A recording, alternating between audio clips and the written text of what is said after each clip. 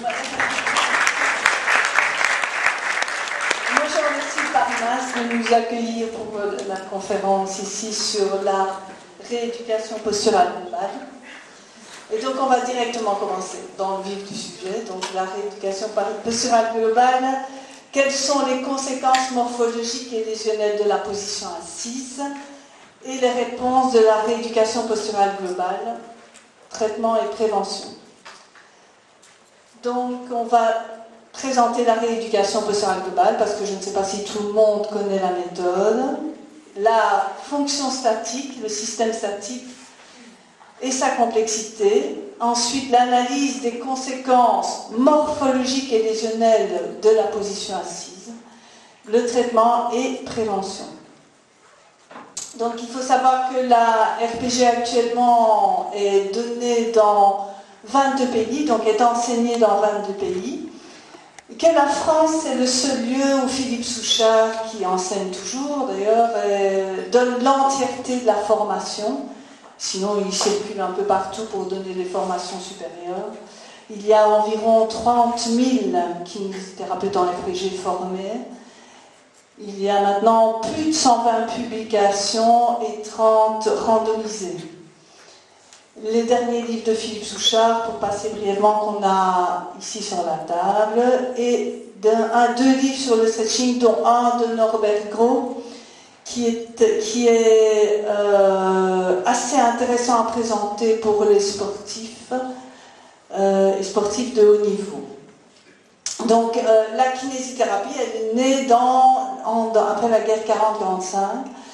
Euh, et donc elle s'est intéressée assez vite à la fonction dynamique, d'une façon logique, puisqu'on avait affaire avec des gens grabataires.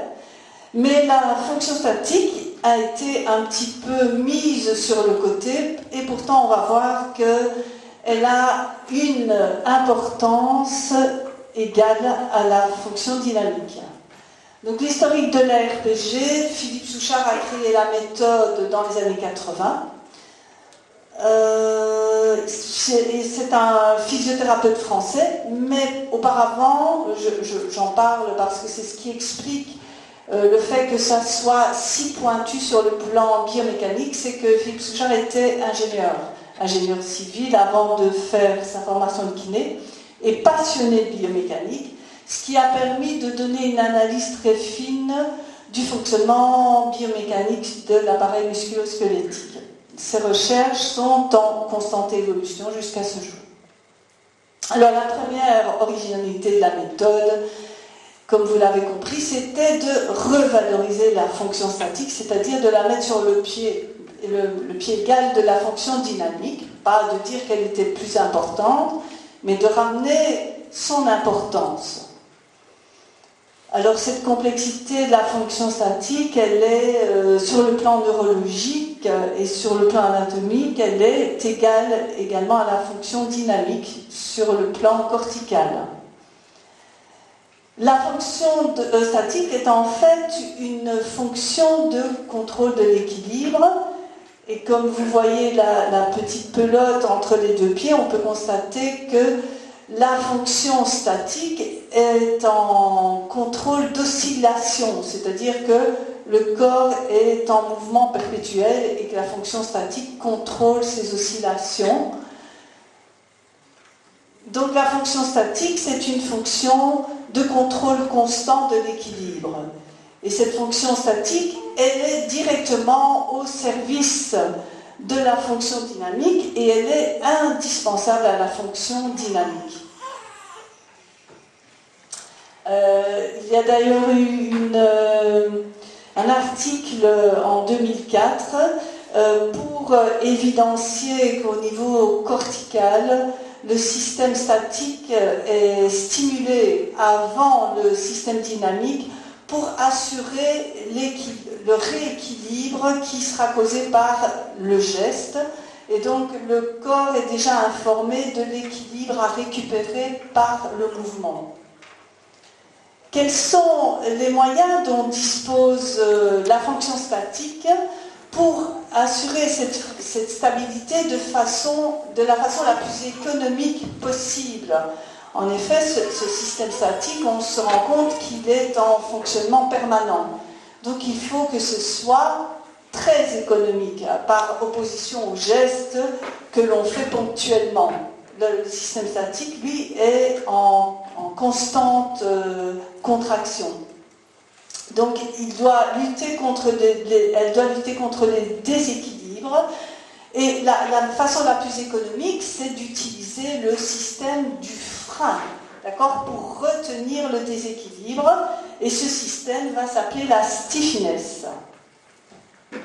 Donc voilà figurer la stiffness qui regroupe tous les éléments physiologiques pour le contrôle de l'équilibre, la fonction statique. Donc ces différents éléments de la stiffness, ce sont les fibres musculaires, et vous, allez voir dans la suite de la conférence qu'on va décrire différentes fibres musculaires, les fibres statiques et les fibres dynamiques. Donc dans la stiffness, on va retrouver les fibres statiques avec un morphotype musculaire différent qui a une disposition aussi qui euh, va permettre une meilleure retenue, c'est-à-dire une disposition oblique et une disposition péniforme en forme de plume pour assurer une économie dans la retenue du déséquilibre. Les pondactines et myosine, bien sûr, le collagène, la viscoélasticité et le tissu élastique des sarcomères, les surfaces articulaires, les capsules articulaires, les ligaments, l'endomysium, l'épimysium, périmysium, les fascias, les tendons et même la résistance de la peau. Donc tout ça participe à cette fonction statique. Alors, quelles sont les, fonctions du système statique? Parce que c'est un petit peu euh, euh, encore euh, flou d'imaginer comment fonctionne le système statique. Alors, les trois fonctions principales sont une fonction d'érection, une fonction de suspension et une fonction de tension réciproque. On va commencer par la fonction d'érection. On peut se demander comment on arrive à tenir debout. Jusqu'ici, comment notre système musculaire s'organise pour nous assurer la position érigée. La gravité, c'est une force descendante. L'idéal, ce serait d'avoir une suspension à partir du dessus du crâne pour nous permettre de rester érigé sans problème. Ce n'est pas le cas. Alors comment est-ce que ça fonctionne? Eh bien ça fonctionne à partir de points fixes inférieurs. C'est-à-dire qu'on va avoir les muscles plantaires à partir de là qui vont donner un, point fixe au solaire qui va remonter le tibia, d'accord, à partir de son point fixe inférieur. Il va tirer le tibia en verticalité. Ensuite, les jumeaux vont retirer le fémur, les ischio-jambiers le bassin, et puis les spinaux, et ainsi de suite, jusqu'aux petits muscles cybernétiques du cou qui vont maintenir l'horizontalité du regard en redressant la tête. Tout ça par des leviers interappuis, et on va voir les conséquences de ça. Donc on peut imaginer, je vous ai schématisé une planche à voile pour imaginer que voilà, je, relève le tibia, je relève le fémur, je relève le bassin, je relève la colonne jusqu'à la tête. Et donc, l'image de, relever la planche à voile, ça, vous, euh, vous image bien ce rôle d'érection des muscles postérieurs qui vont aider à redresser le corps, d'accord, jusqu'à arriver à cette... Euh, position érigée, on peut imaginer d'ailleurs déjà, pour vous aider déjà à y penser, que la, la, surfiste, la serait les, muscles postérieurs et on va voir le vent contre appui, donc avec la voile, qui va être plutôt le système de suspension antérieure qu'on va voir par après. Et donc, on peut conclure que la fonction d'érection est assurée évidemment principalement par les muscles de la région postérieure. Mais euh, contrairement à ce qu'on a euh, imaginé jusqu'ici, où on parlait de chaînes musculaires, donc les, les études que Philippe Souchard continue à mener l'amènent à parler de façon différente, c'est-à-dire que ces enchaînements se font au niveau cortical, parce qu'on peut comprendre que même si le système principal est postérieur pour ériger. On aura besoin du droit antérieur pour verrouiller l'extension du genou par la tension sur la rotule. Et pareil au niveau de la nuque, par exemple, on a le long du cou pour maintenir l'érection au niveau des cervicales. Donc, ces muscles droit antérieur et long du cou ne sont pas directement enchaînés l'un à l'autre comme on pourrait l'imaginer sur la grande suite postérieure. Et donc, ces enchaînements se font au niveau cortical via les mécanorécepteurs. On peut imaginer que l'ordre d'enchaînement de, groupes musculaires pour euh, maintenir une position ou même pour euh, effectuer un geste, cet enchaînement musculaire se fait au niveau cortical. Et donc Philippe Souchard appelle maintenant ces systèmes des psychonèmes, des systèmes intégrés de coordination neuromusculaire. D'accord? Donc on va plutôt parler de psychonèmes parce que l'enchaînement n'est pas physique, mais l'enchaînement est cortical. Et donc voilà figuré euh, le système postérieur. Et donc euh, le droit antérieur assure sur le plan antérieur l'extension du genou et le maintien économique de l'extension du genou par le verrouillage au niveau de la rotule.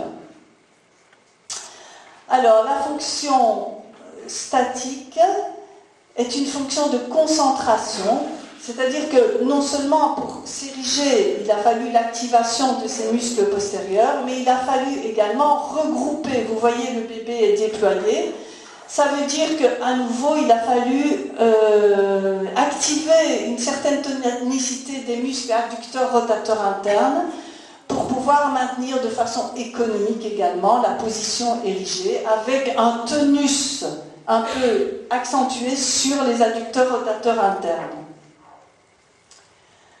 À partir du moment où on a érigé le corps, on a monté le mât, on va suspendre. Ça veut dire qu'on a un système extrêmement tonique au niveau postérieur, puisque c'est un système statique pour ériger. Eh bien, à l'avant, on a également un système hypertonique, et vous voyez ici tout ce tractus fibreux qui est en réalité le tendon du diaphragme qui va suspendre le centre phrénique pour lui donner un point fixe pour pouvoir activer les fibres périphériques qui vont élever les côtes. Mais à ce tractus fibreux sont suspendus tous les viscères, puisqu'on a toutes euh, les correspondances ligamentaires euh, et tous les viscères sont en réalité suspendus au tractus fibreux du tendon du diaphragme. Mais tout ce système va se continuer par le psoas, donc le droit antérieur qui suspend la rotule et le jambier antérieur qui va suspendre le premier méta pour maintenir la voûte plantaire et donner une possibilité euh, au court fléchisseur de maintenir l'arc de la voûte. Mais pour ça, il fallait suspendre. Et donc, tout ce système-là est en activité permanente également. Donc, on a à l'avant un système extrêmement fibreux capable d'une rétraction extrêmement importante. Voilà, et ça c'était dans la dernière conférence qui a eu lieu en 2016 sur l'épaule, qui était une très très belle conférence de Philippe Souchard, c'était lui qui l'a donnée. Et c'est à ce moment-là qu'il a mis cette image pour vous figurer la suspension, tout le système à l'avant. Et bien sûr, comme pour le système postérieur, par exemple l'omoplate, qui est suspendu à l'avant par le petit pectoral, on retrouve à l'arrière l'angulaire et le trapèze qui vont suspendre. Et donc à nouveau, euh, ces muscles ne sont pas enchaînés directement, mais sont enchaînés par un ordre cortical. Donc, et on a enfin la fonction de tension réciproque. Et cette fonction de tension réciproque va maintenir la bonne axation, aussi bien dans le sens bien va maintenir ou pas, d'accord On va voir ça par après, sur le plan antéro-postérieur, mais également sur le plan latéral et rotatoire. Et l'idéal est de, maintenir, de se maintenir debout avec le minimum de tonus musculaire, ça veut dire avec le meilleur équilibre possible entre ces systèmes. Et voilà ce que ça donne D'accord Soit euh, on a l'équilibre, soit on l'a perdu. Et vous voyez que quand on a une déviation de rétraction ou de tonicité du système postérieur, on va plutôt se comporter avec un thorax monté. Et quand on a une rétraction du système antérieur, on va plutôt se retrouver dans la syphose, la tête en avant, les épaules enroulées. OK? Et donc, euh, ce qu'on va, première conclusion, c'est que quand on est en statique debout, ce qu'on va pouvoir lire, ce sont des rétractions, des déviations de système euh, à certains niveaux, à différents niveaux. On ne va pas être totalement antérieur, totalement postérieur. On va avoir des parties plus antérieures avec plus de tonicité pour certaines parties antérieures, pour certaines parties postérieures, de façon à arriver à un équilibre, quel qu'il soit. Comme vous connaissez hein, ces petits bonhommes euh, qui tirent la corde, si les rouges dévient la corde vers eux, les blancs ne seront pas hypotoniques. Ils vont maintenir la traction pour essayer de maintenir l'équilibre et de ramener le nœud au milieu, d'accord, et, de, mieux vers eux. Donc c'est ce jeu de tension, mais les deux sont en activité tonique très importante. Et voici donc euh, l'image parce que c'est une forme de, de rétraction antérieure, de déséquilibre antérieur. Il y en a des, tas d'expressions du déséquilibre antérieur. Mais voilà, si on a une traction par ce tendon du diaphragme, de la tête en avant, l'enroulement des épaules, on se retrouve dévié antérieurement. Ce n'est pas pour ça qu'on tombe. Donc on a gardé un équilibre dévié. Ça veut dire qu'on a augmenté la tonicité et déséquilibre consécutif à la rétraction postérieure, on aura une compression des vertèbres puisque les spinaux vont se raccourcir et une montée et un blocage du thorax. Alors quels sont les inconvénients incontournables de cette activité musculaire? Ben voilà, en réalité, euh, il n'y a pas de faiblesse. C'est à ça qu'on veut En réalité, il n'y a pas de faiblesse, mais il y a euh, une déviation qui va entraîner une augmentation de tonus, mais des, deux côtés. C'est-à-dire que le tonus va s'augmenter du côté offensif et ça va, ça va dévier vers le raccourcissement du muscle offensif. Mais de l'autre côté, le système va lutter contre le déséquilibre pour maintenir l'équilibre. Donc ça veut dire que ceci est dévié, mais l'équilibre est toujours présent. Hein, dans le cas d'une scoliose, on va avoir l'augmentation, on va avoir une augmentation de tonus d'un côté, mais du côté convexe, la, tonicité sera importante et même plus importante que du côté concave pour retenir le système qui est en train de se dévier. Et à quoi ça conduit cette, augmentation de tonus bilatéral va entraîner une compression articulaire. D'accord? Mais ça, vous pouvez l'imaginer même rien qu'avec le, redressement du mât de la planche à voile. Vous allez relever le mât et quand vous avez redressé le mât, vous l'enfoncez dans le sol. Vous avez le mât d'une tente canadienne avec des filins eh bien, les filins tiennent le mât droit, mais l'enfoncent dans le sol. Mais pour nous, c'est la même chose, étant donné que tout part de points fixes inférieurs. Voilà. Et donc, on revient toujours à ces leviers thérapie, d'accord? Quand on a la contraction des spinaux pour redresser le dos avec le poids du thorax, la gravité vers le bas, la force musculaire également vers le bas, d'accord? Parce qu'on redresse, et ces leviers à thérapie permettent de transformer une force vers le bas en force vers le haut. C'est un des systèmes biomécaniques, il y en a d'autres qui vont transformer une force qui tire vers le bas en, en résultante vers le haut. Mais, mais, mais, mais, mais, avec une résultante de compression également. Donc, euh, on ne pourra pas échapper, on ne pourra pas échapper à la compression articulaire, euh, quoi qu'on fasse. Alors, euh, par rapport au système statique, il faut aussi comprendre certaines choses. Que fait le muscle quand il ne provoque pas le mouvement? C'est-à-dire, pardon, ah non, euh, que fait par exemple le biceps quand il ne fléchit pas le coude Que font les ischio-jambiers quand ils ne fléchissent pas le genou Eh bien, ces muscles qu'on pense activés uniquement lors d'un mouvement, ces muscles sont extrêmement actifs pour d'autres charges c'est-à-dire qu'ils ont également une fonction statique. Et donc on va constater que dans le corps, on n'a pas des muscles qui sont pour la statique et des muscles qui assurent la dynamique, on a des muscles polyvalents avec un pourcentage de fibres variable pour les muscles, pardon, je sens pas le rouge, de, de, de fonctions statiques et de fonctions dynamiques. Donc le biceps, ici on le voit, le membre supérieur à la coracoïde. Donc il fait partie des muscles suspenseurs. Ça veut dire qu'il a une tonicité permanente.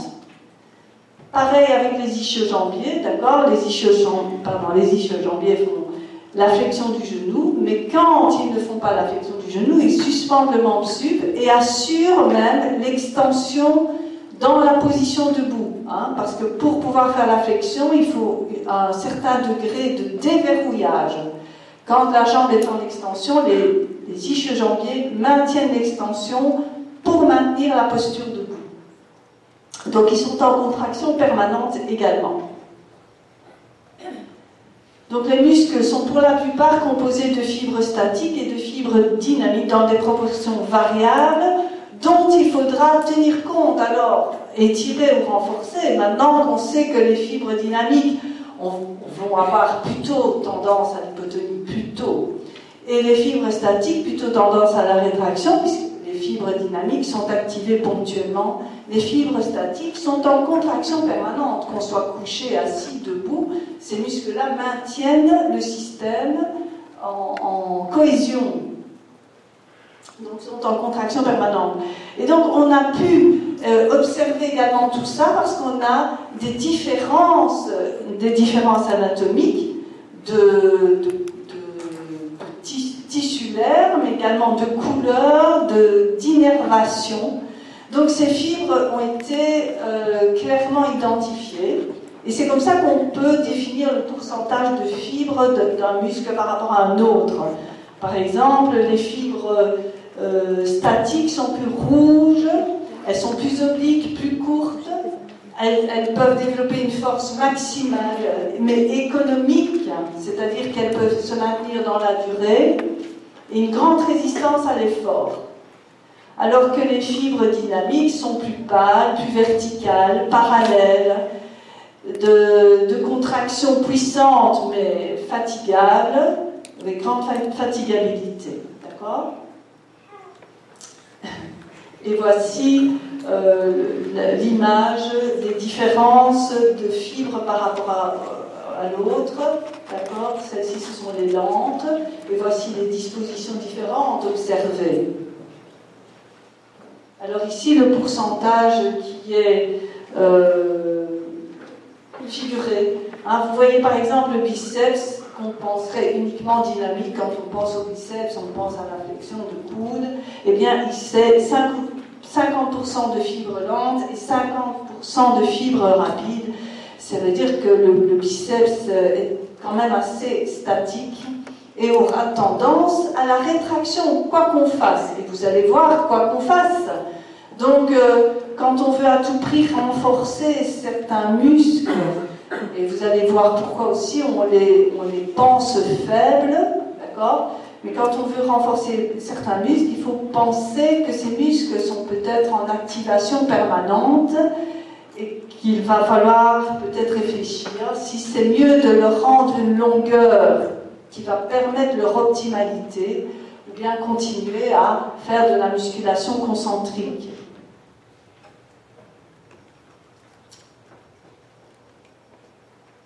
Donc les fibres dynamiques, elles assurent le mouvement, ne se contracte que lors du mouvement et donc aurait plus tendance au relâchement. Hein. On va pas, penser aux abdominaux qu'on a toujours voulu renforcer, on va penser aux triceps, d'accord. Tandis que les fibres statiques, elles assurent le contrôle de l'équilibre, elles sont en contraction permanente, tendance au raccourcissement. Donc l'activité musculaire, le, mouvement, n'échappera pas à la rétraction ni à la perte d'élasticité de ces fibres musculaires et de ses composants fibreux. Un.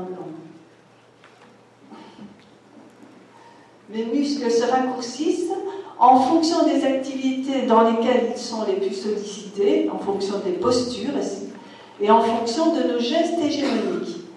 Les gestes et les positions répétitives, tant professionnelles que sportives qu'hégémoniques, entraînent le raccourcissement des muscles surmenés, voire leur rétraction, provoquant le déséquilibre d'une ou plusieurs articulations vers la déformation.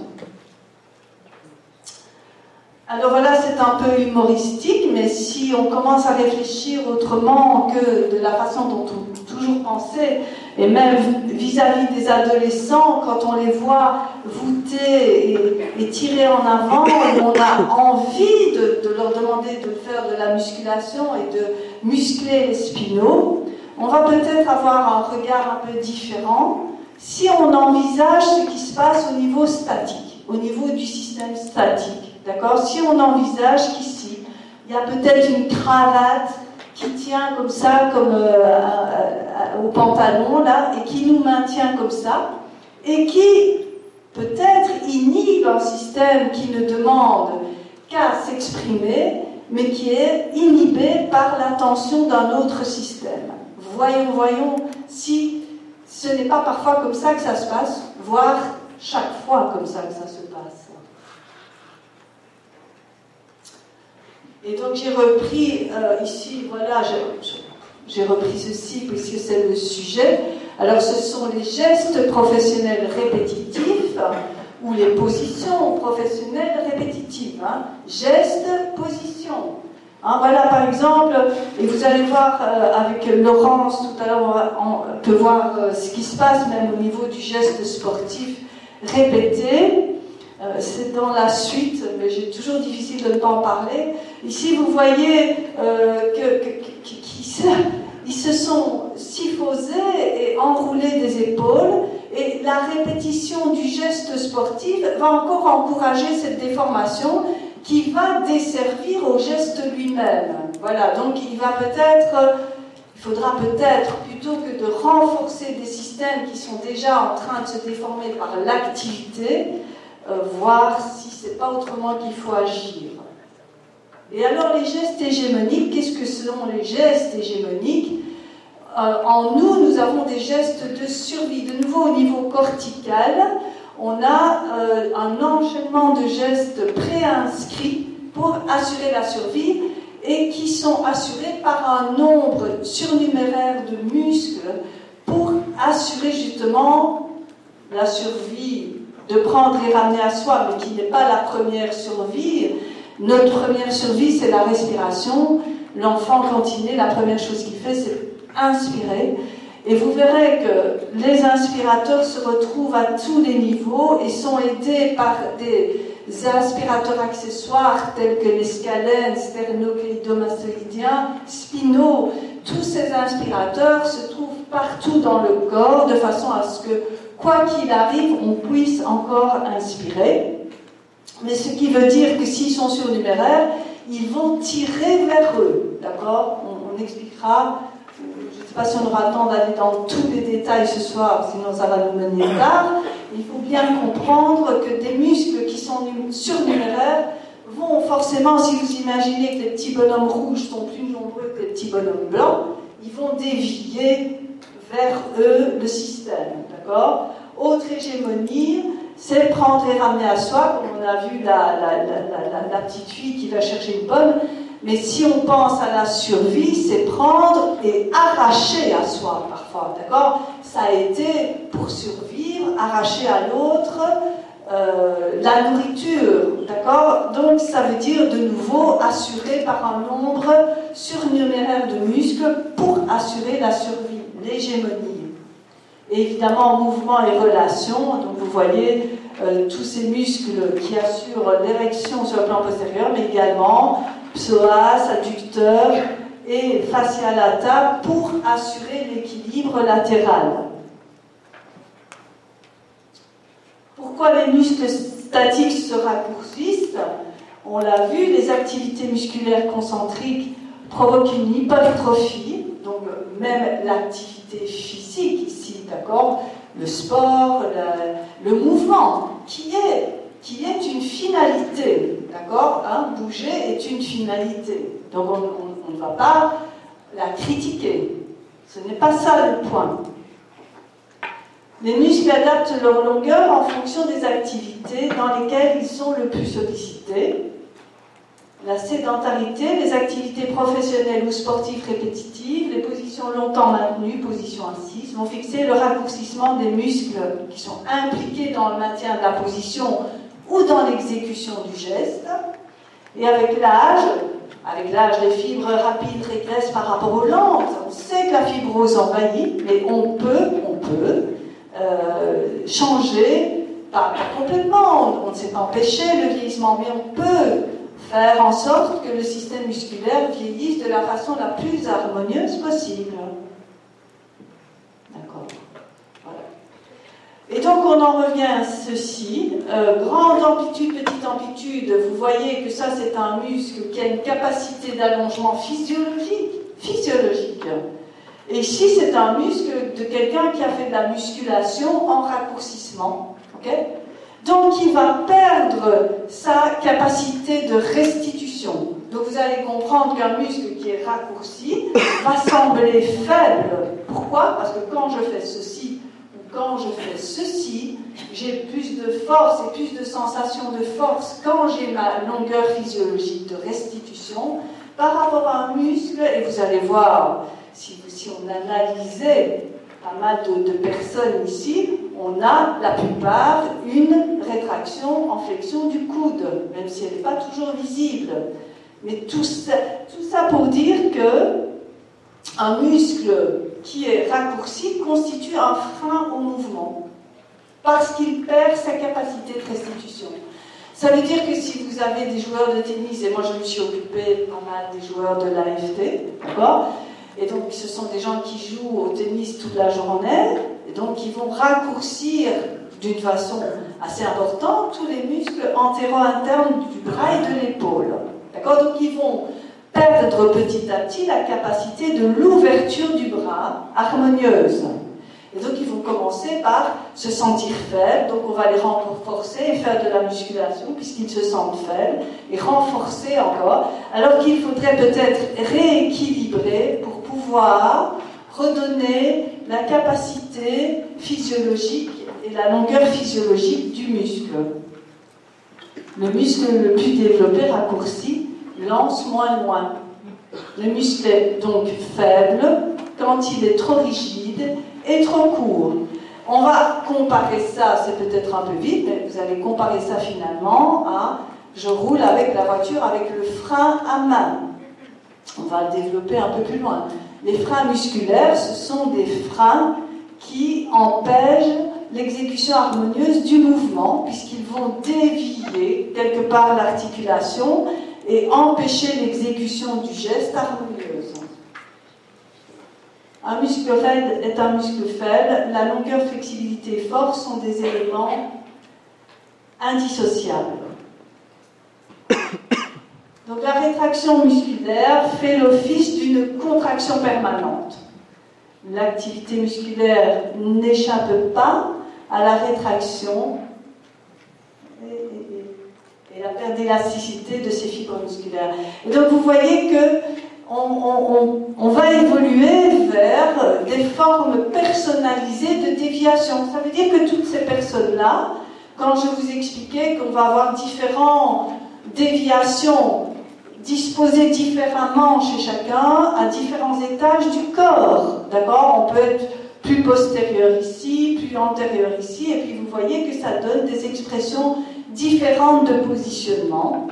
Mais en réalité, tous ces positionnements sont, euh, sont en fonction des rétractions qui se sont organisé avec un autre système derrière qui se rétracte pour lutter aussi contre le déséquilibre, puisque la façon la plus économique de pouvoir maintenir la position, c'est de raccourcir, mais si on est en contraction permanente, on dépense trop d'énergie.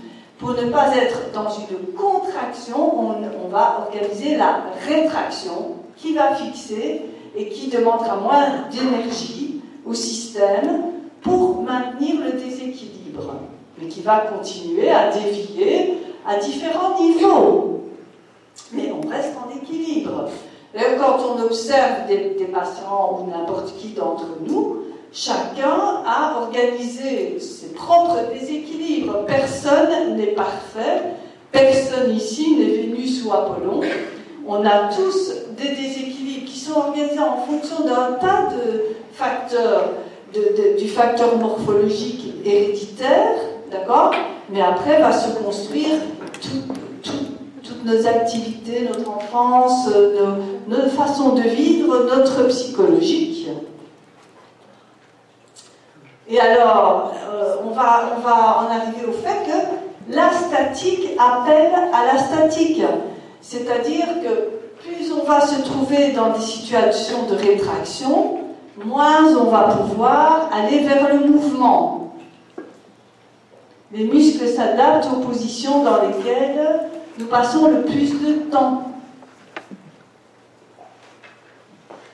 Et c'est pour ça que euh, la problématique de la position assise, et j'en ai parlé à, Fred qui, donne cours au prof de gym qui est ici, euh, euh, c'est que les enfants sont en position assise euh, dès la maternelle, nous maintenant dans les cabinets, on voit les enfants en primaire, euh, en secondaire, n'en parlons pas, ils sont déjà victimes des rétractions organisées des ischios et des fessiers qui limitent le mouvement. Et donc déjà, euh, à l'école primaire, on se trouve face à des enfants qui ont des rétractions trop importantes, des ischios et des fessiers, mais ça ne se voit pas parce qu'on arrive à compenser. Donc le, système veut assurer le mouvement à tout prix, puisque c'est ça qu'on lui demande, et le système s'organise pour qu'on puisse continuer à vivre sans être euh,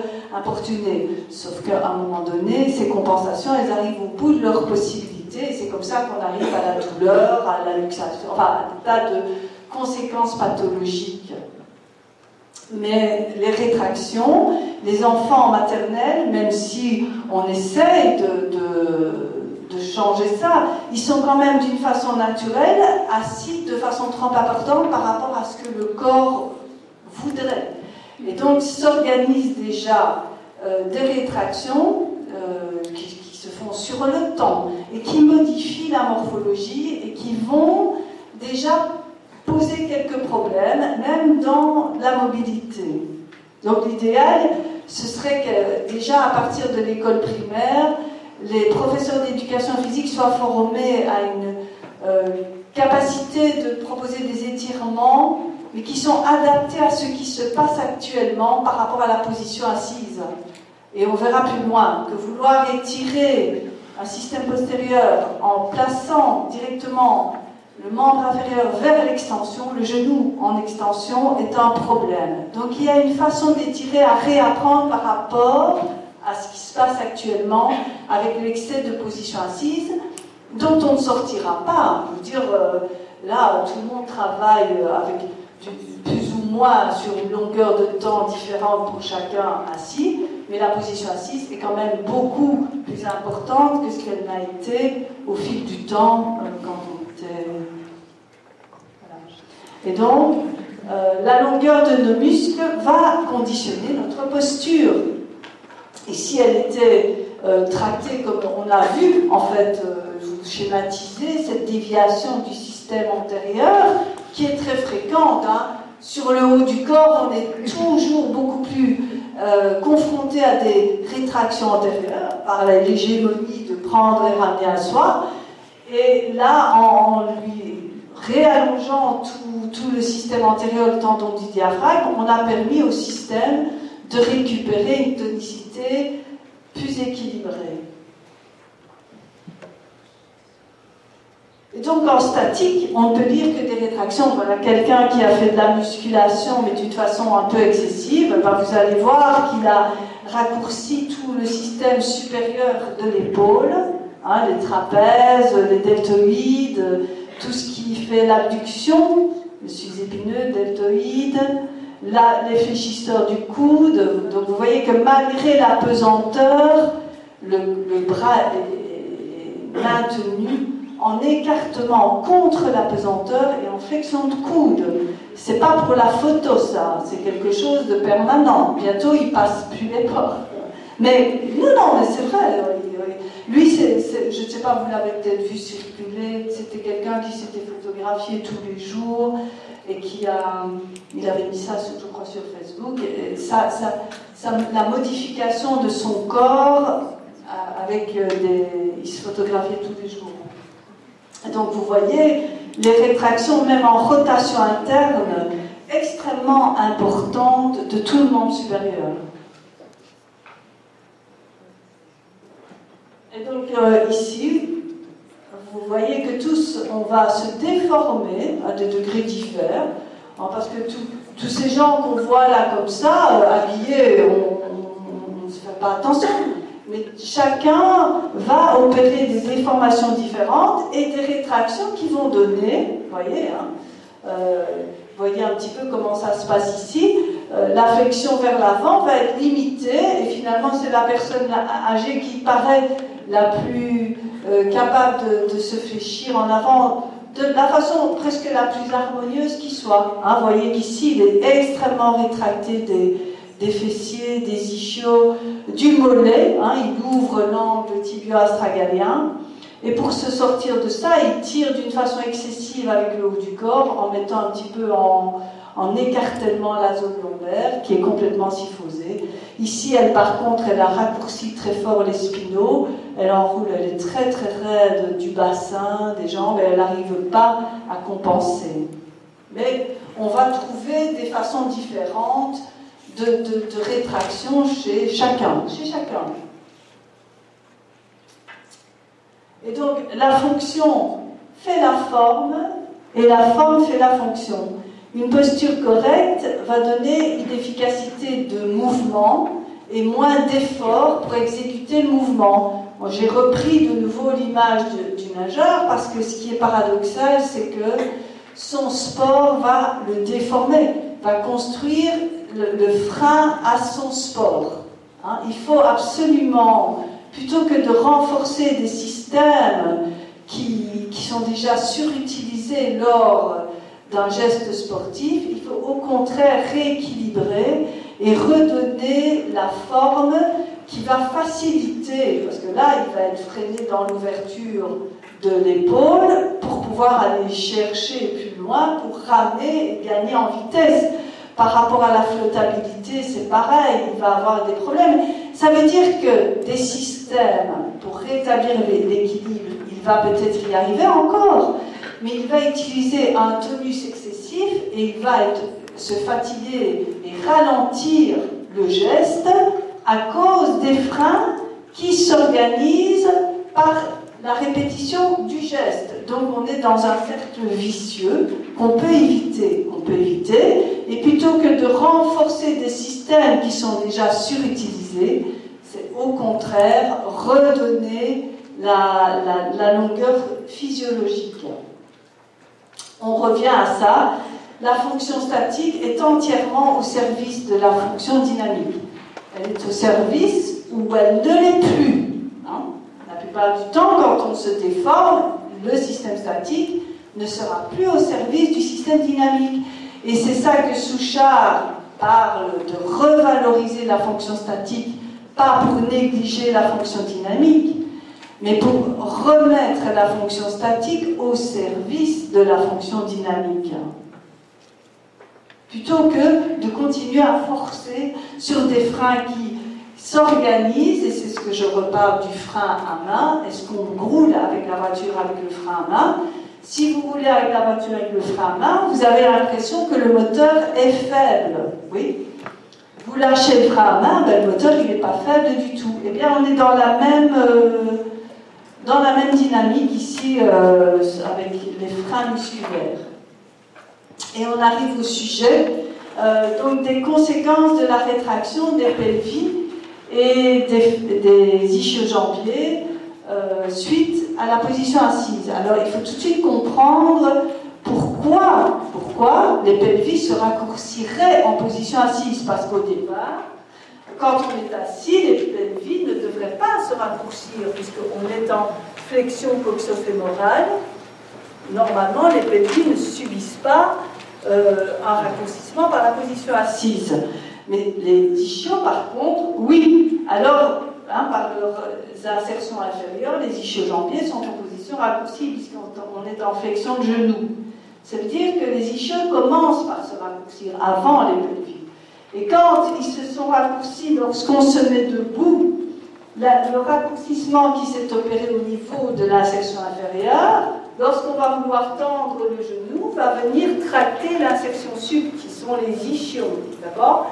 Et par ce raccourcissement, tirer les ischions en arrière, donc postérioriser le bassin, et donner à ce moment-là la possibilité au pelvis, aux fessiers, de se raccourcir à leur tour. Et c'est ce frein-là qui va nous poser plus de problèmes en position assise, puisqu'on a besoin de la flexion coxofémorale Lorsque les pelvis sont raccourcis, on va se retrouver comme ceci. Et la plupart, moi ce que j'observe au cabinet en tout cas, c'est que voilà ce que j'observe. Si, si on ne force pas d'une façon excessive, si on se relâche, on est comme ceci, avec une, une lombaire. Bien sûr, c'est pas comme ça qu'on voit les jambes, d'accord? Les jambes, mais on va voir pourquoi. On va voir pourquoi.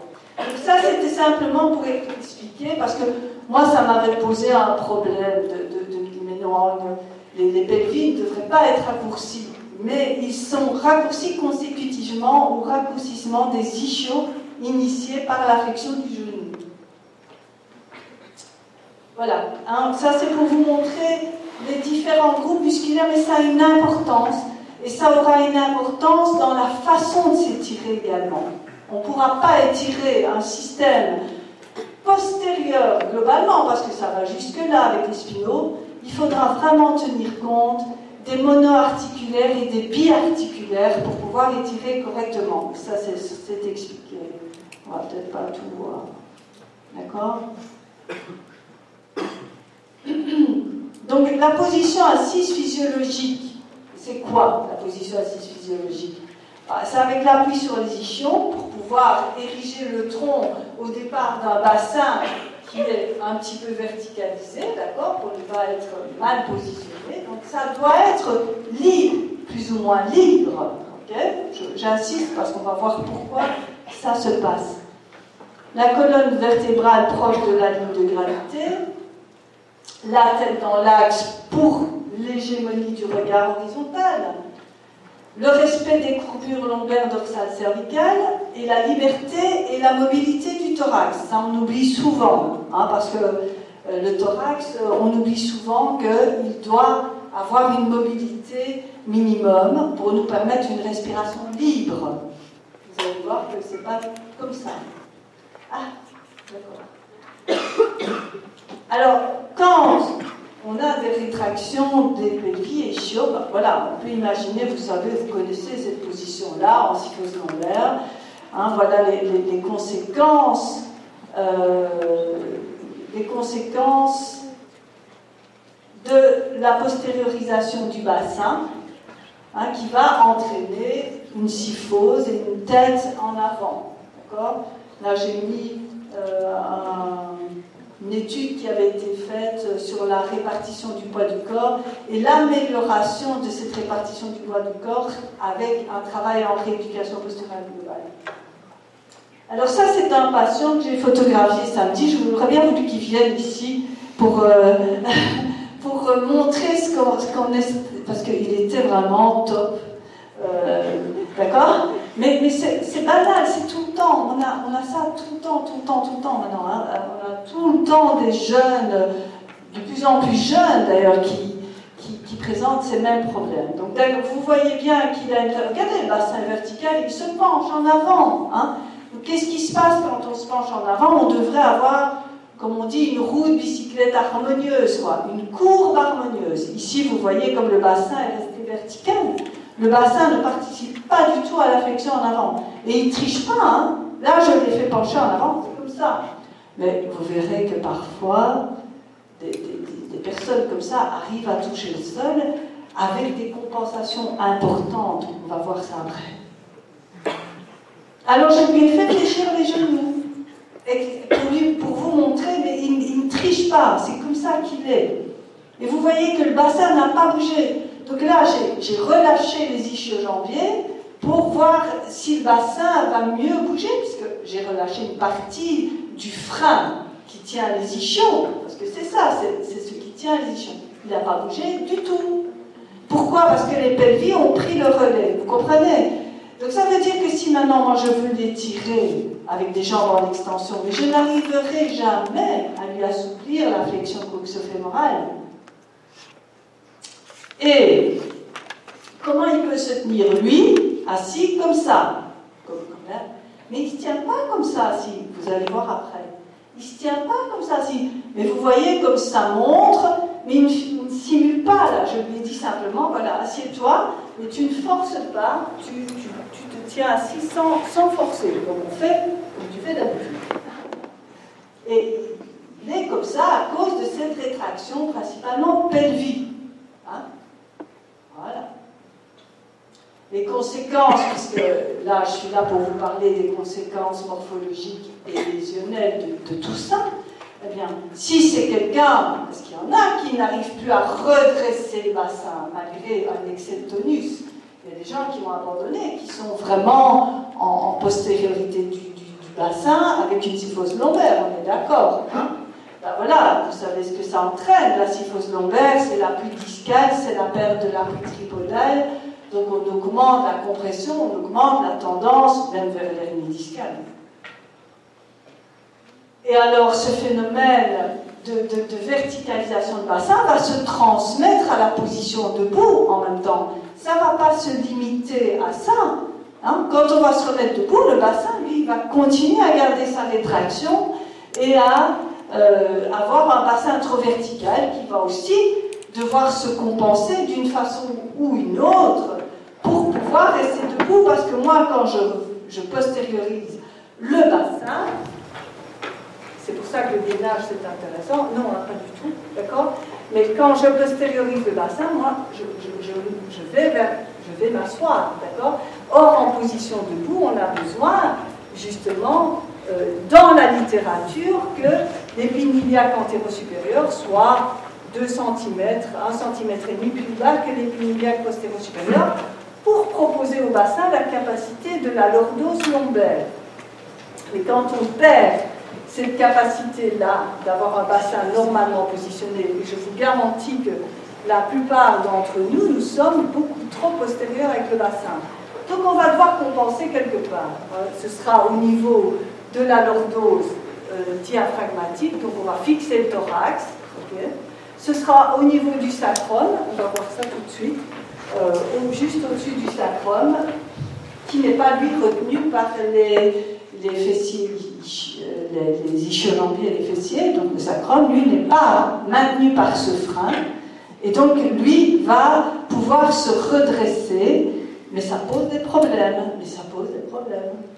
On revient toujours à la statique appelle la statique, d'accord hein Quand je suis dans cette situation-là, je suis moins disposée à bouger que quand j'ai une position du bassin idéale et pas que du bassin.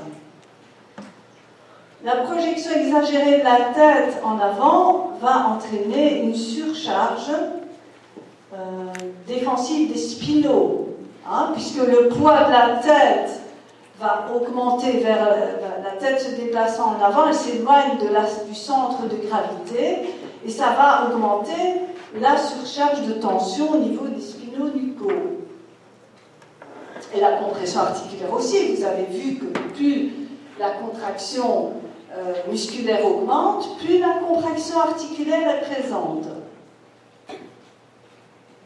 L'excès de syphose dorsale entraîne la fixation du thorax et une perte de l'amplitude respiratoire. Et ça va aussi vers une cunéiformisation des vertèbres qui va encore plus fixer la déformation. Et en plus, on va. Euh, c'est Ah oui, c'était le gars qui. La photo que j'avais. Euh, perte de l'horizontalité du regard. Euh, quand j'ai mis le geste professionnel répétitif, là, le gars qui est devant l'ordi, eh bien, si, je la remettrai peut-être après, on le voit vraiment, il lève les yeux comme ça parce que vous verrez, certaines personnes sont tellement fixées par cette rétraction antérieure que redresser la tête est douloureux ou difficile ou trop coûteux en énergie, et que ce sont les yeux, donc les droits supérieurs, qui vont relever les yeux pour essayer d'horizontaliser le regard, parce que la tête a perdu sa fonction de mise à disposition du système hégémonique, qui est le regard horizontal. Donc la tête, elle est au service de l'œil.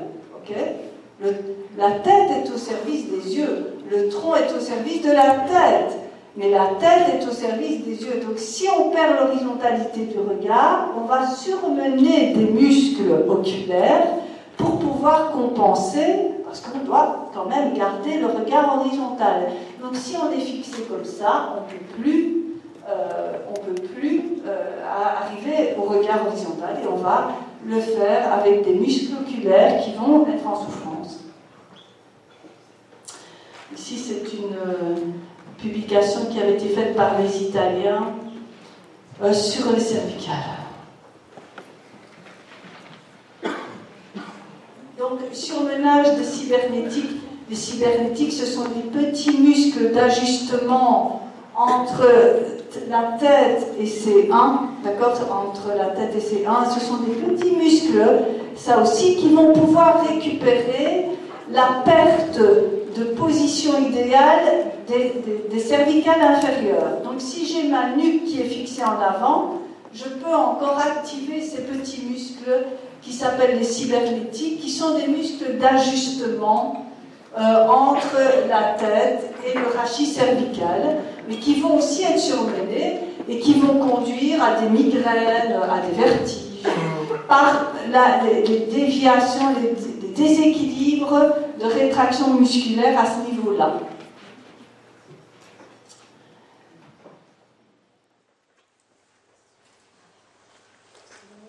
Ah oui. Euh, donc, la projection de la tête en avant va également proposer aux scalènes, des muscles ici qui sont latéraux, qui sont des muscles extrêmement importants pour garantir le volume résiduel, mais ça c'est autre chose, mais ce sont des muscles extrêmement statiques parce qu'ils suspendent également la première et la deuxième côte. Mais donc à partir du moment où ces muscles scalènes se raccourcissent, on sait qu'on met en danger le plexus, euh, le défilé des scalènes, puisque le plexus, ce brachial et l'artère sous-clavière se trouvent entre le scalène antérieur et le scalène moyen. Une fois qu'il y a une tension de raccourcissement, ces, éléments-là sont mis en danger et c'est pour ça qu'on se retrouve souvent avec des gens avec des fourmillements dans les doigts, des pertes de force. Ça peut être dû uniquement à cette tension d'escalène. Alors voici, on revient à cette position idéale, ok? Eh bien, voilà ce qu'on voit, c'est-à-dire que euh, on voit des gens qui ont l'air d'être assis correctement. Et c'est ça un petit peu le problème actuel. C'est-à-dire que la correction de la position que mon patient avait tout à l'heure, vous allez voir, eh bien, il a pu la corriger de cette façon-là.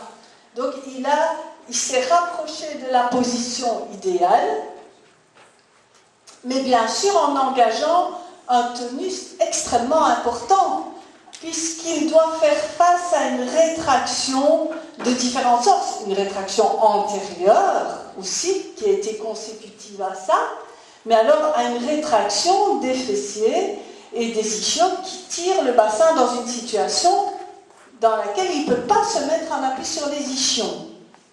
Donc il doit engager une force ici ascensionnelle qui va, et, qui va essayer de lutter contre cette force qui tire le bassin en arrière.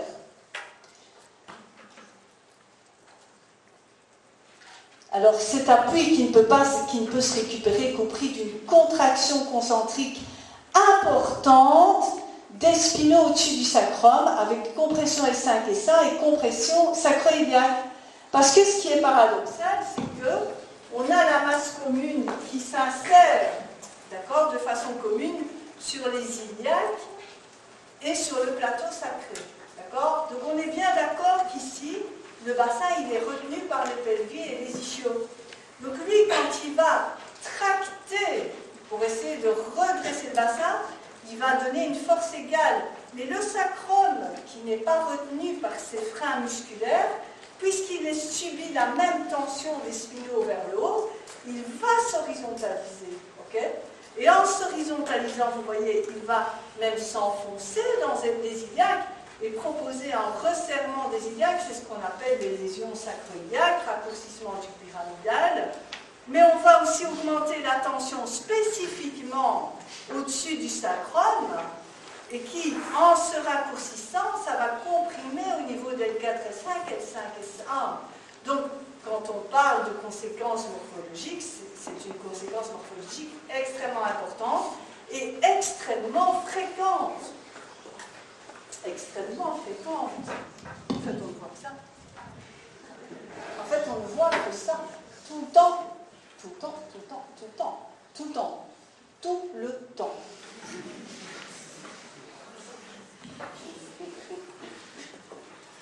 Non, mais c'est dingue parce que. Voilà, je lui ai demandé de corriger. Et alors, c'est ça qui est fou, ok Parce que moi, quand j'ai des jeunes, j'ai des jeunes, d'accord Et automatiquement. Et alors, ils sont comme ça, et puis ils sont tout de suite, ils sont comme ça. Voilà, ils sont parfaits.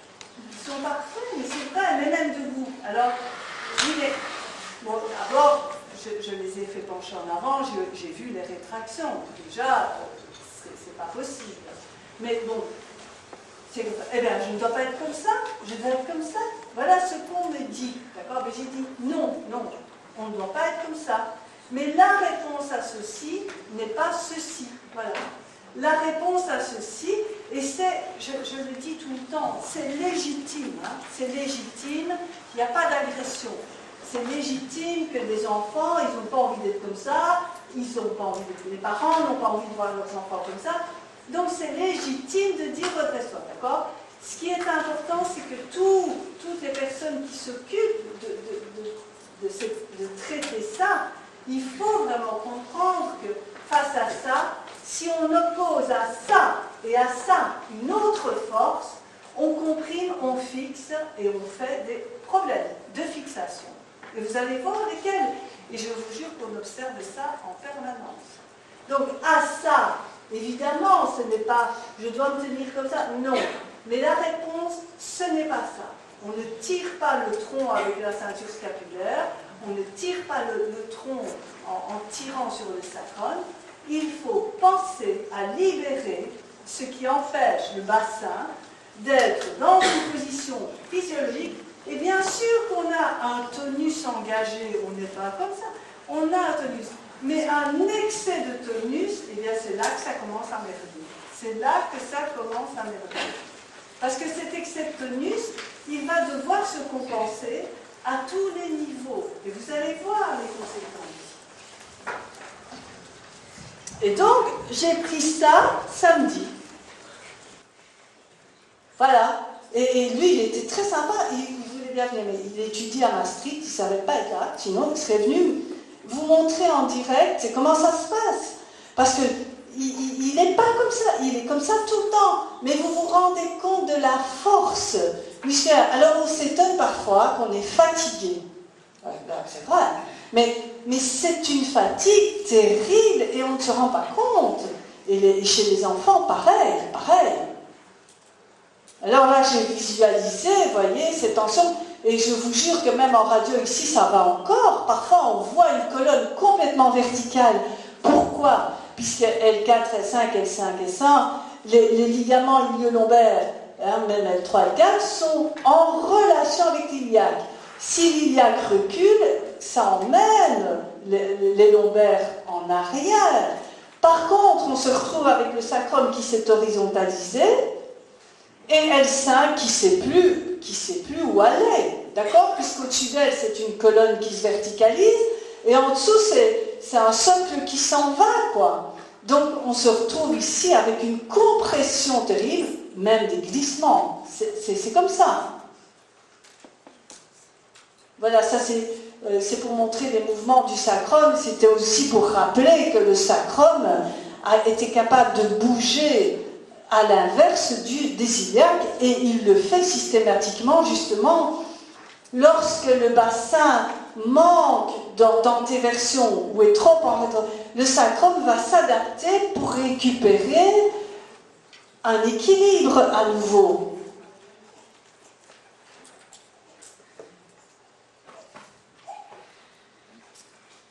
Ici, je ne savais pas qu'il y aurait le squelette, c'était pour vous montrer la position du sacrum. Et comme lorsqu'il va s'horizontaliser, il va en même temps s'enfoncer et donner la possibilité aux iliaques de se resserrer derrière et de créer des problèmes sacroiliaques importants.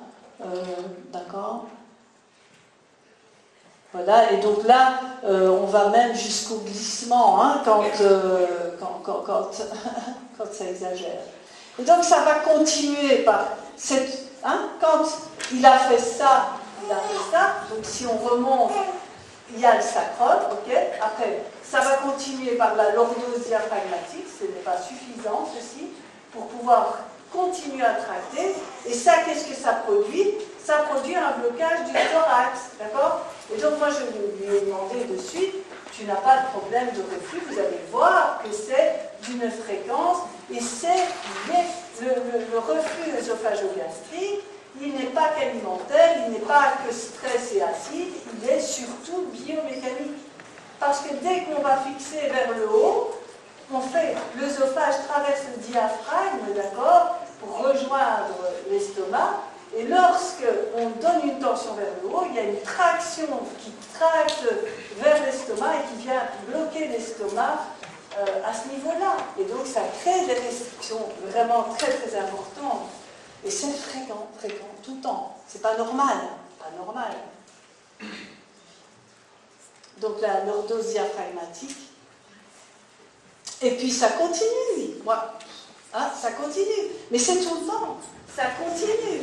Parce que pour pouvoir, pour pouvoir continuer à maintenir ça, on va jusqu'à la Donc il monte il monte la ceinture scapulaire.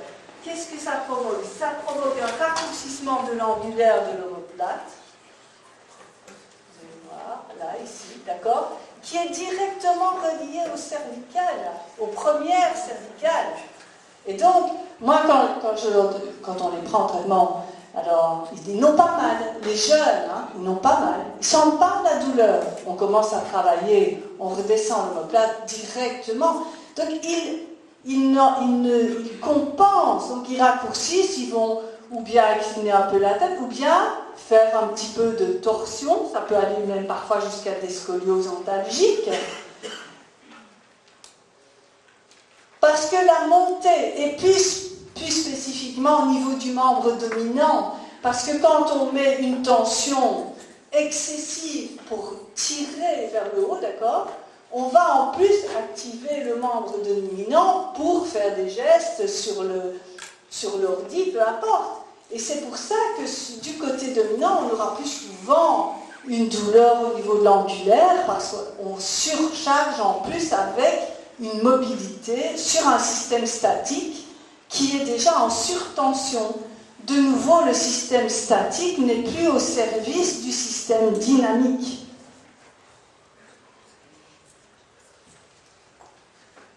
Et de nouveau, on retrouve la rétraction des scalènes, d'ailleurs, hein, avec, euh, et les scalènes, vous les voyez verticaux, et donc obligatoirement, on va avoir une composante de tassement au niveau des cervicales extrêmement accentuée, extrêmement. Des. D'accord Alors il y a un seul pas entre la déformation morphologique et la lésion articulaire. Ça, c'est Souchard qui le dit dans son livre Déformation morphologique. Mais vous l'avez bien compris, puisque le système statique est au service du système dynamique. Si par exemple, moi je suis déjà dévié du mollet par la rétraction euh, des mollets, la rétraction des pelviques qui me tire en rotation externe et un peu en adduction, eh bien je suis déjà en pré-entorse externe. Simplement pensez ça. si je fais un petit, euh, comme on appelle, faux pas, eh bien, si vous mettez quelqu'un qui est plus ou moins équilibré musculairement à côté d'un autre qui est dévié, ben l'autre va se faire une entorse et celui qui est en équilibre ne fera pas d'entorse. Parce que le système statique, le système euh, de système statique est au service du système dynamique. Et il faut l'entretenir, il faut retrouver cet idéal. Et donc, les lésions articulaire, puisqu'on a parlé des, conséquences morphologiques et lésionnelles. Voici les conséquences lésionnelles, ce sont des exemples. Mais donc on va jusqu'à l'hernie. Voyez ici la colonne qui est tout à fait verticale. C'est pas, pas un dessin, c'est une radio, et c'est tout le temps qu'on voit ça. Une colonne qui arrive verticalement sur un sacrum complètement horizontal. Mais forcément qu'ici ça pose problème voyez-vous Et spondylolisthésis, on est dans la lésion. et là, on se retrouve avec l'angulaire, euh, je vous repas, des reflux, parce que ça, c'est de la lésion du reflux ésophageogacé. Et ce n'est pas une lésion qui est à prendre, euh, c'est à prendre au sérieux, hein, c'est très handicapant.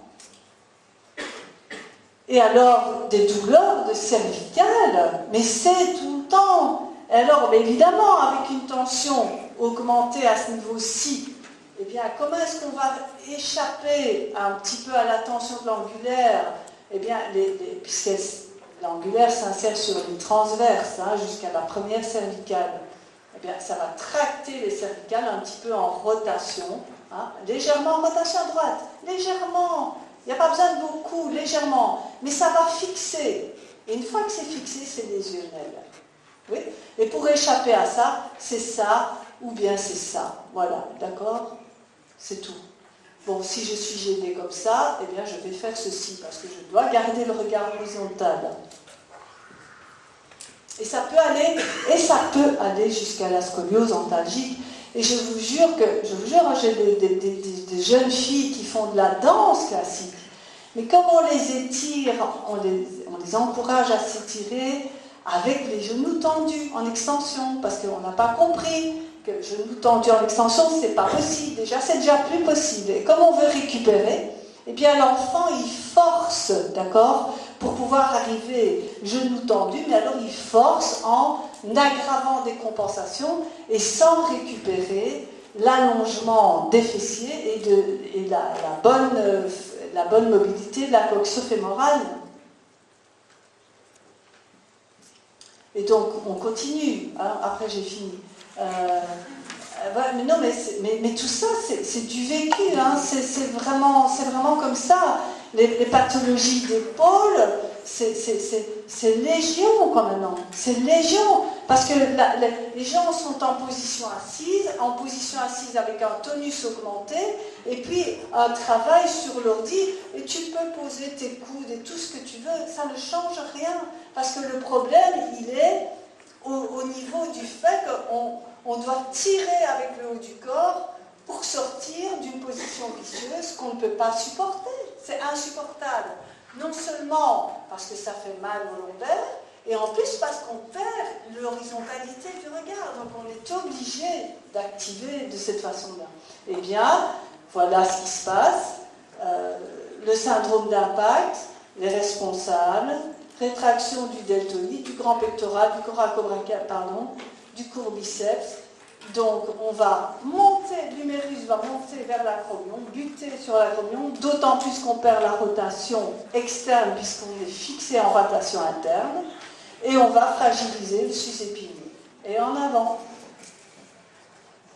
Et donc moi je vais laisser la parole à Laurence pour euh, parler des solutions des réponses, puisqu'on arrive à la dernière partie, qui sont euh, les, réponses en prévention et en traitement de la FPG. Merci Mireille. Voilà.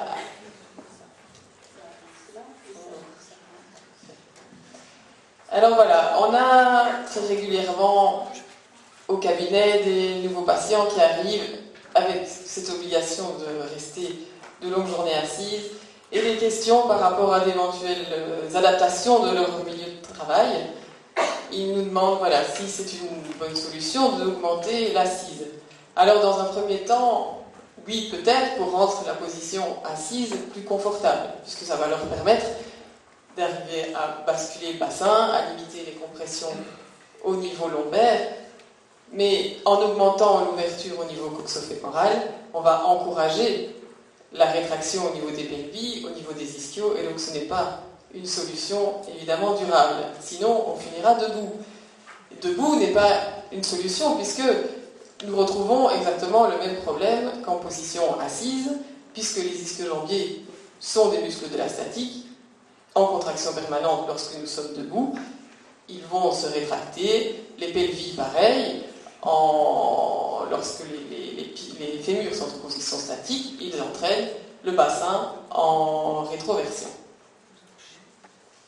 Une autre euh, adaptation régulièrement adoptée est le Swiss Ball. Alors oui, peut-être aussi une idée pour modifier un petit peu les appuis, pour avoir une position un peu moins statique. Mais on est quand même encore en position euh, assise. Et on voit que ça n'empêche pas ce jeune homme d'avoir une petite syphose lombaire. Donc de nouveau, ce n'est pas une solution par rapport à ces rétractions. Les conseils ergonomiques, ben, voilà, comme on en a déjà parlé, il faut encore être capable de les mettre en application.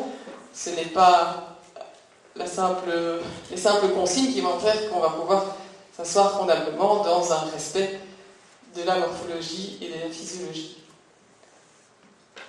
Alors, d'autres euh, réflexions qu'on entend souvent, oui, je suis assise, assis toute la journée, mais pourtant je fais du sport. Quand je rentre, comment, comment est-ce que j'ai encore mal au dos? Alors de nouveau, comme Muriel l'a expliqué, la, statique est au service de la dynamique. Donc, s'il y a déjà des freins avant de se mettre en mouvement, eh bien on va forcer sur un système.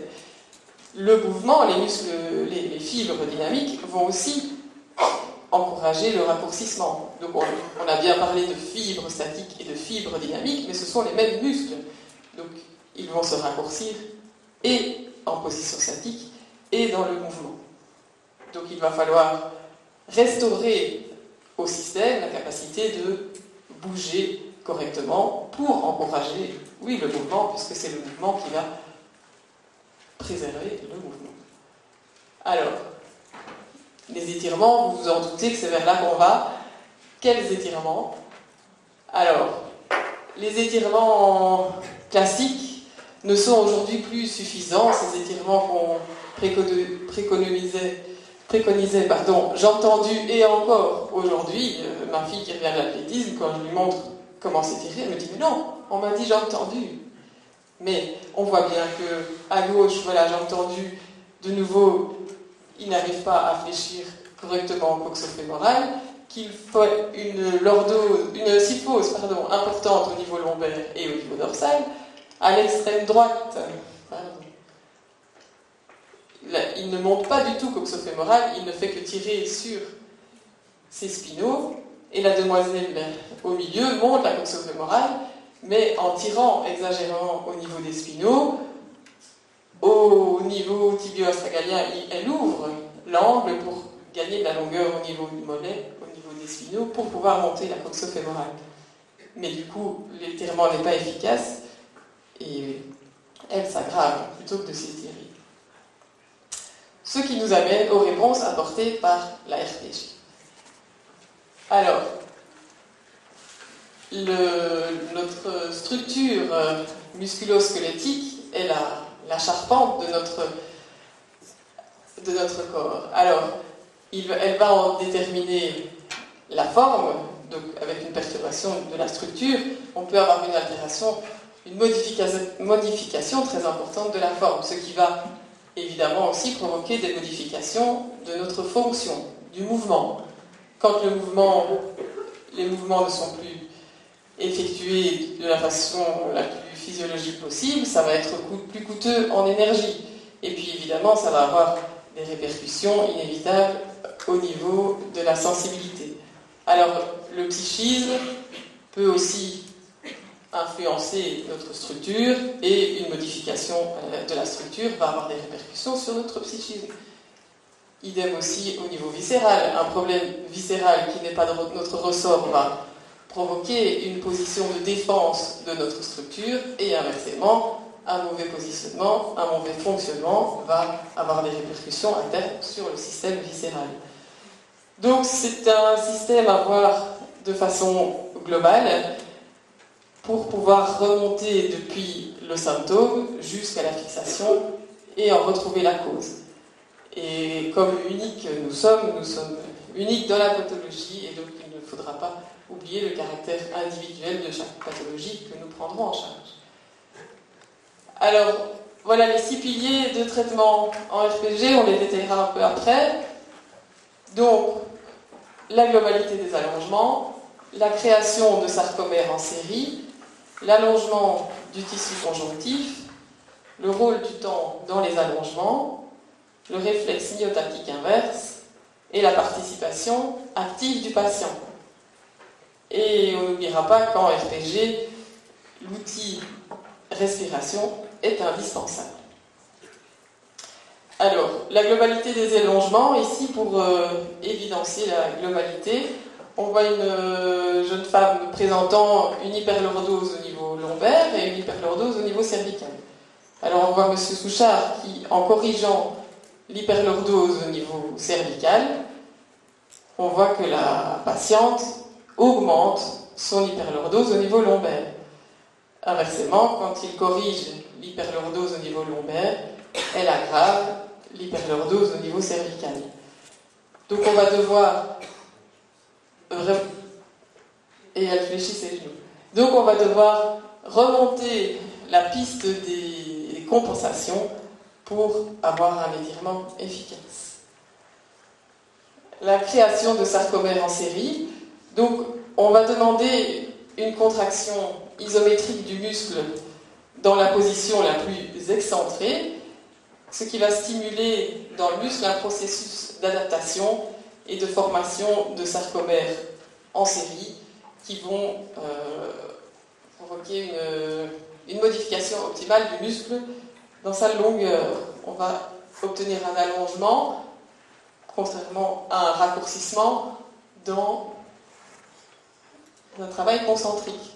Voilà, schématisé ici, donc on voit le muscle travailler en concentrique va créer des sarcomères en parallèle et se raccourcir, tandis qu'un muscle étiré avec ses exercices de contraction isométrique dans la position excentrée va favoriser la création de sarcomères en série et favoriser l'allongement. Donc on revoit ici euh, le jeune homme euh, après 365 jours de musculation. Dommage qu'on l'ait pas avant, mais voilà, le rive il, bien, il a bien modifié sa statique, avec toutes les conséquences dont Muriel a. Par contre, ici, le félin qui, lui, ne fait pas de renforcement concentrique, qui ne travaille qu'en excentricité, préserve sa force et sa souplesse. Alors, le troisième pilier en RPG, la libération du tissu conjonctif. Donc, lorsque on va demander ces contractions isométriques dans la position la plus excentrée, on va forcer le muscle à aller solliciter le tissu conjonctif qui est associatif en série et en parallèle. On va aller rechercher le tissu conjonctif et les fascias, toutes les structures en parallèle, qui vont forcer le, muscle à s'allonger au-delà de ce qu'on appelle le, le point de raideur. Donc lorsqu'on l'aura étiré dans sa position la plus excentrée, en le faisant se contracter, il va encore aller réquisitionner ce tissu conjonctif et on va pouvoir atteindre euh, la plasticité de ce tissu conjonctif. Alors, le quatrième pilier, le fluage. Donc c'est une déformation qu'on obtient au niveau des matériaux grâce à euh, un phénomène physique qui est une force constante appliquée durant un certain temps sur un matériau.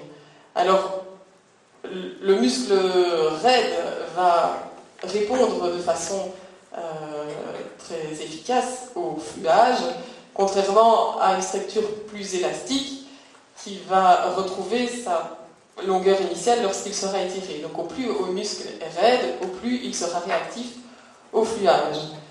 Alors, on voit ici, avec la, formule physique d'un corps donc, euh, déformé à l'aide du fluage, qu'il est inversement proportionnel, euh, ce gain en allongement, au coefficient d'élasticité du muscle.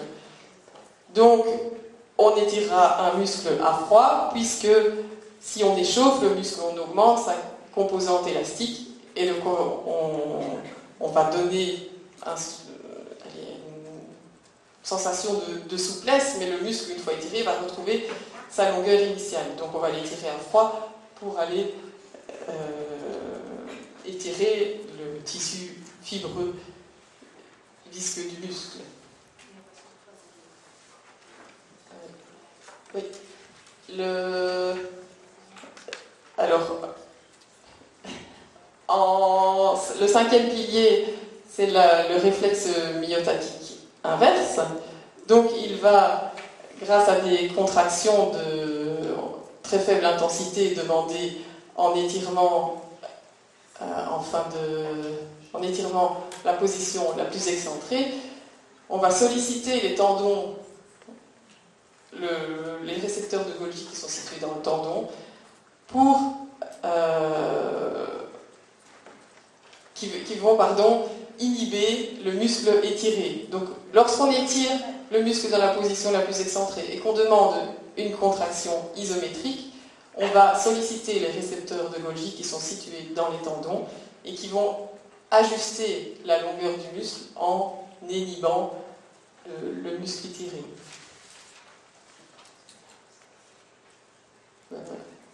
Et la production de sarcomères en série.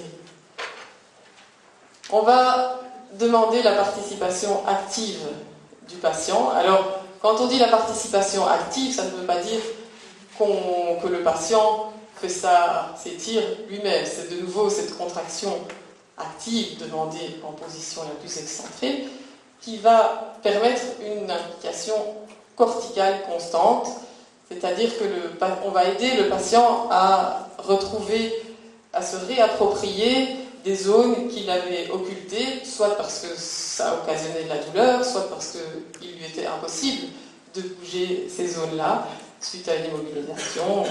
Et donc, en allant demander des contractions isométriques de ces zones occultées, on va réapproprier le, geste et cette zone occultée.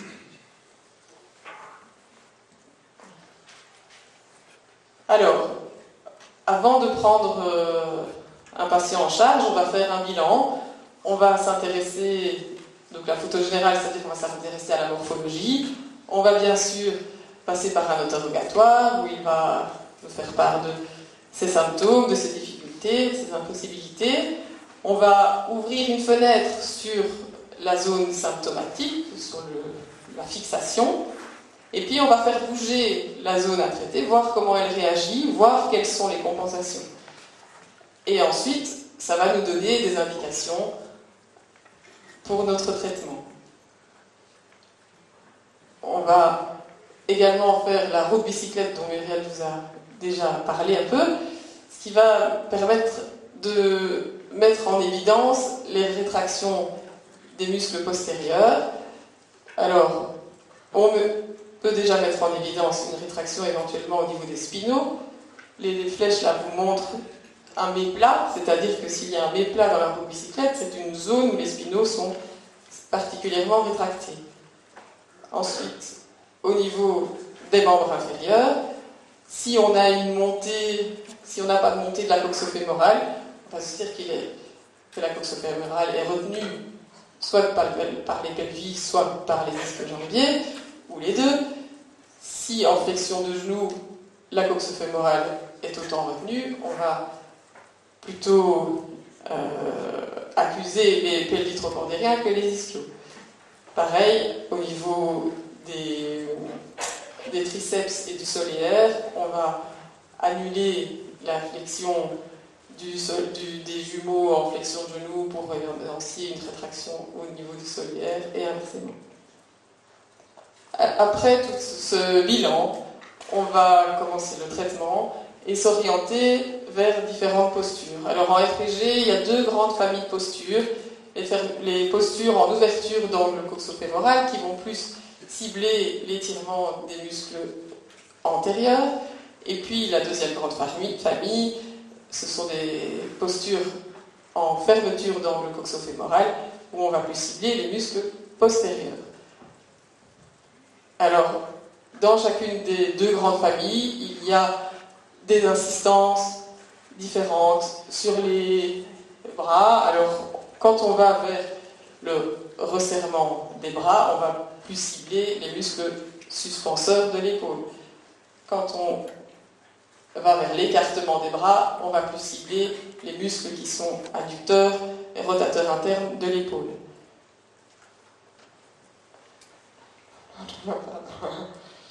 Ensuite, les postures en fermeture d'angle coxofémoral, c'est surtout celle-là qu'on va utiliser quand euh, on étire les muscles postérieurs, les muscles, les pelvis, les ischios dont on a surtout parlé aujourd'hui. Alors, ici, on ne le voit pas bien, mais on peut vraiment aller chercher l'étirement des pelvis en acceptant une flexion importante des genoux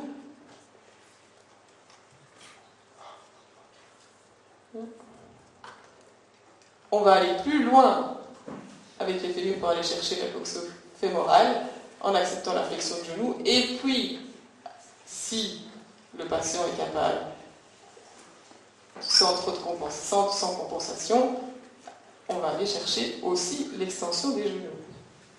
Alors on va avoir des postures plus en charge pour les problèmes plus morphologiques qui vont amener plus de tension et on va privilégier les postures en décharge, en coucher, lorsque euh, les symptômes sont importants en cas de douleur. On va commencer par des postures en décharge pour aller ensuite vers les postures en charge. Voilà encore un exemple de posture en charge, qui est une posture qui permet d'insister sur les pelvis et les ischio-jambiers, qui qui nous préoccupent fort aujourd'hui là, en ouverture ici, dans le coxofémoral. Une posture en charge. Alors, le, la RPG a de nombreuses applications, soit les problèmes morphologiques, les lésions articulaires, les pathologies respiratoires, les rééducations post-traumatiques, les pathologies neurologiques, spastiques, les problèmes liés à l'activité sportive et au travail, les problèmes liés au vieillissement, les problèmes viscéraux liés à une perturbation biomécanique. Alors, l'originalité aussi de la, RPG a été de proposer des autopostures d'étirement, parce que c'est sûr que quand on finit une prise en charge et qu'on est parvenu à être quitte des symptômes douloureux, des problèmes de fixation, qu'on retrouve une bonne mobilité, il va, pouvoir, il va falloir l'entretenir. Alors, euh, on a mis, voilà, ce Souchard a mis sur pied le SGA, qui est le Stretching Global Active, qui propose des autopostures d'entretien, et puis, si on réagit à temps, qui permettent de prévenir l'enraidissement, ce dont Muriel parlait, on aimerait à terme que ces cours soient proposés à l'école primaire, maternelle, dans les cadres des cours d'éducation physique que ce cours d'éducation physique soit revalorisé et propose des étirements à nos enfants. Alors, le SGA est basé sur les mêmes principes que la FPG, bien sûr sans thérapeute, donc on n'aura pas le contrôle de la douleur, on n'aura pas les corrections des déviations, on n'aura pas l'aide du thérapeute pour évoluer, donc la progression ne dépendra que du pratiquant. Donc tout ça montre qu'il ne s'agit pas d'une thérapie, c'est de, de l'entretien, de la prévention, n'est pas de la thérapie. Actuellement, il est pratiqué déjà dans de nombreux milieux sportifs de haut niveau. Alors, on revient avec donc, les principes qui se retrouvent en SGA. On étire de façon lente et progressive. Donc là, on revient sur le fluage. On a parlé, donc on a dit que c'était proportionnel à la force avec laquelle on étire et au temps de maintien de l'étirement. Alors en RPG et en SGA, on va privilégier le temps par rapport à la force pour éviter de traumatiser le muscle. Donc on va étirer une force faible et pendant un temps certain. On va étirer de façon globale et de nouveau actif avec cette participation du patient. Le SGA se distingue particulièrement des étirements classiques par les points suivants. Donc le temps de maintien de l'étirement dont je viens de vous parler, la prise en compte de la globalité, on a abordé les corrections systématiques de l'ensemble du corps, donc on corrige simultanément les compensations pour atteindre une efficacité dans l'étirement. Le contrôle des compensations, les contractions de faible intensité des muscles étirés, la douceur de la traction des muscles de la colonne vertébrale. Donc on, en a parlé, on, on en pratique évidemment plus en FPG, mais aussi en SGA, le sujet est capable de faire des tractions au niveau cervical et au niveau du bassin pour limiter les compressions au niveau lombaire. Alors l'utilisation de la respiration avec libération du thorax. Muriel déjà vous en a parlé, on va en y revenir après. Et la lenteur des progressions. Alors voilà les cinq principes du SGA. Les étirements sont globaux. Chaque muscle comporte des physiologies différentes. On va les détailler après. L'étirement musculaire suit les mêmes principes physiques que les matériaux visco-élastiques. Les étirements sont toujours actifs. La respiration est le moteur de l'étirement. La globalité, ben, on est déjà revenu pas mal dessus. Donc, euh, un muscle ne fonctionne pas de façon isolée, mais au sein d'un ensemble musculaire qui se charge de répondre à un même ordre neuromoteur. Donc, ici, pour illustrer, si on veut étirer, par exemple, euh, les jumeaux en tirant sur la pointe de pied vers le haut, mais avec les jambes en extension, nous allons mettre les ischio-jambiers en tension, ce qui va créer une bascule du bassin vers l'arrière, ce qui va créer la syphose, ce qui ne, ce qui ne donnera en aucun cas un étirement efficace. Seule l'attraction aux deux extrémités de la suite musculaire permet un étirement global. Mais il ne faut pas penser qu'il suffit de corriger, de faire une dorsiflexion au niveau des pieds et de faire une traction au niveau de la nuque pour que l'étirement soit correct et efficace. On va, là c'est la finalité, mais on va commencer par les genoux fléchis pour permettre une bonne position, un bon positionnement du bassin. On va travailler sur le thorax pour l'empêcher, parce que si on, lui positionne correctement le bassin, il risque d'aller chercher à hyperlordoser au niveau diaphragmatique, donc on va empêcher ces compensations au niveau diaphragmatique, au niveau du, au niveau du thorax, et puis évoluer progressivement vers l'extension des genoux en veillant à éviter toute compensation. Alors, durant la mise en tension, les, compensations peuvent apparaître à n'importe quel endroit de la suite musculaire. Par exemple, à chaque tentative d'étirement des adducteurs, le bassin va être entraîné vers l'avant, la zone lombaire va se creuser et il y aura une élévation du bas du thorax. Donc ça reprend ce que je viens de dire. Il faut veiller à, éviter toutes ces compensations et vraiment à travailler sur ce thorax en, en expiration. Un étirement correct des adducteurs suppose le maintien du pubis et le maintien de la zone lombaire corrigée tout en redescendant toujours le bas du thorax au moyen d'une expiration profonde. Alors, deuxième principe, les différentes physiologies du muscle. Alors les muscles ont une action dans les trois plans de l'espace, dont il va falloir tenir compte dans les étirements pour que ceci soit efficace. Alors, un exemple, ce sont les ischio-jambiers, quand on va les étirer dans leur fonction de flexion-extension, lorsqu'on va aller chercher l'extension des genoux, si on ne fait pas attention, je peux pas monter sur ça Monter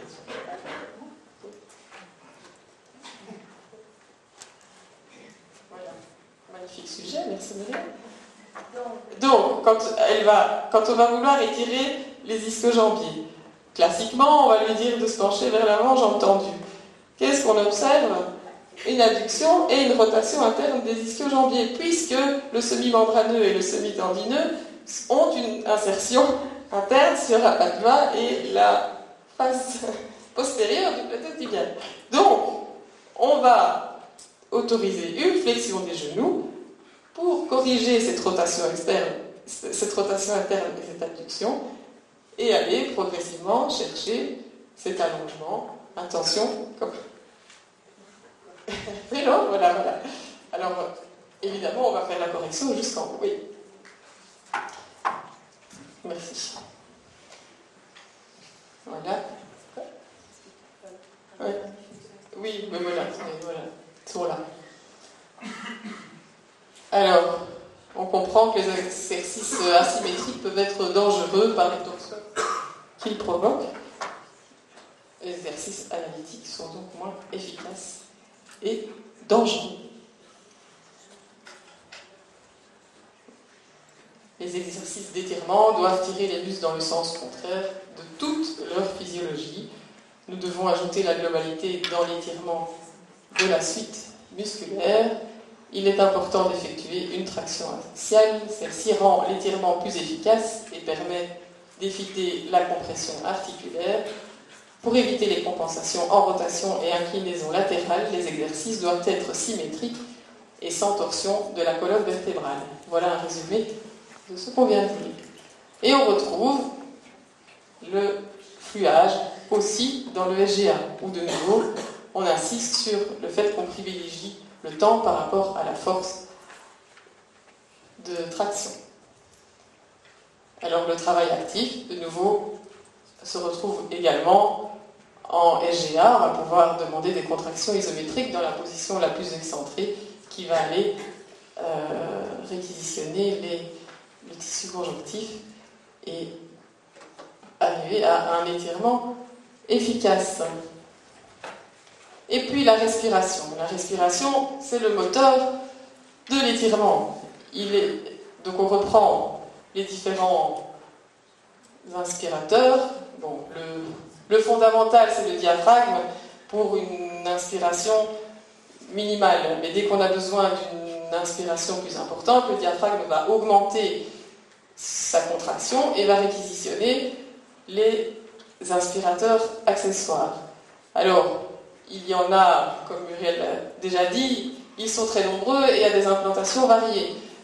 Il y en a, il y a les, surcostaux, les intercostaux, il y a les inspirateurs nucaux, qui sont les sternocleidomastoïdiens et les scalènes, les inspirateurs accessoires au niveau scapulaire, qui sont le petit pectoral, le grand pectoral euh, et le grand dentelé. Il y a les inspirateurs accessoires spinaux, qui ont soit une action inspiratrice par leur action de dorsiflexion au niveau de la colonne vertébrale, et puis plus spécifiquement l'iliocostal et le longissimus qui ont une insertion sur le petit bras de la côte qui vont euh, euh, amener une élévation du grand bras et donc provoquer une inspiration. Donc oui, au centre, alors ici, petite image pour montrer que quand on va mettre en tension ce centre, on va augmenter la tension dans la périphérie. Alors, c'est peut-être facile à comprendre pour les membres supérieurs. Vous allez tous sentir si vous descendez votre thorax en complément d'un étirement en position excentrée des bras, ça va augmenter la tension dans les bras. Mais ça va être la même chose au niveau des membres inférieurs. Quand on a vu tout à l'heure que quand on étire par exemple les adducteurs, si on corrige en maintenant le pubis et qu'on vient descendre le thorax, on va augmenter aussi euh, très fort l'attention sur les fléchissures blanches, les adducteurs. Donc quand on inspire, on relâche la tension dans le système. Quand on expire, on augmente la tension jusque dans la périphérie. Voilà les différentes publications reprises durant cette conférence. Voilà, merci à tous pour votre attention.